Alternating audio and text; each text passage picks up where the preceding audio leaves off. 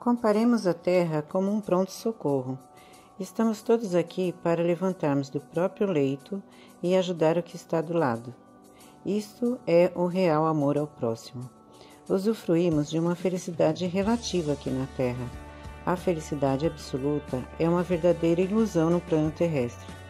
Podemos medir uma felicidade relativa, aquela que estamos com a consciência tranquila e com uma sensação de que estamos cumprindo nossa missão como humanos.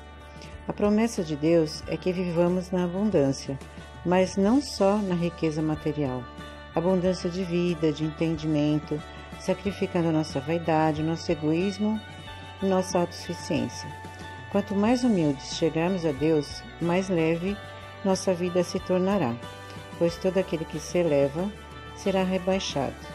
Que assim seja, graças a Deus.